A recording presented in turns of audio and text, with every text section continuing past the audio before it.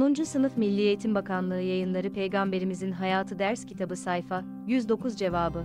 Ulaşabilmek ve dersinizi kolayca yapabilmek için aşağıdaki yayınımızı mutlaka inceleyiniz. 10. Sınıf Milli Eğitim Bakanlığı yayınları Peygamberimizin Hayatı ders kitabı sayfa 109 cevabı. Ahde vefa, kime ya da kimlere nasıl gösterilir? Düşüncelerinizi yazarak ifade ediniz. Allah'a, anne babaya, arkadaşa, yaşlılara, hastalara vb. Cevap Vefi kelimesi, minnettarlık, sadaat ve istikamet gibi vasıfların hepsinde bir kumaşın iki yüzünden biri olmak gibi beraberlik ve hatta bazen ayniyet ifadesi taşır.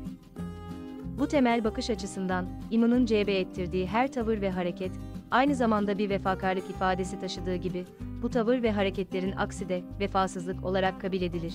Vefi, peygamberlere, velilere ve fazilet sahibi kimselere it bir vasıf olarak beşeri hayatı en yüce bir seviyede taçlandıran manevi bir sıfattır.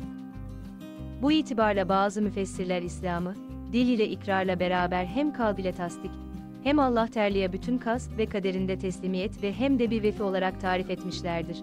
10. Sınıf Peygamberimizin Hayatı Ders Kitabı Cevapları Milli Eğitim Bakanlığı yayınları sayfa 109 ile ilgili aşağıda bulunan emojileri kullanarak duygularınızı belirtebilir aynı zamanda sosyal medyada paylaşarak bizlere katkıda bulunabilirsiniz.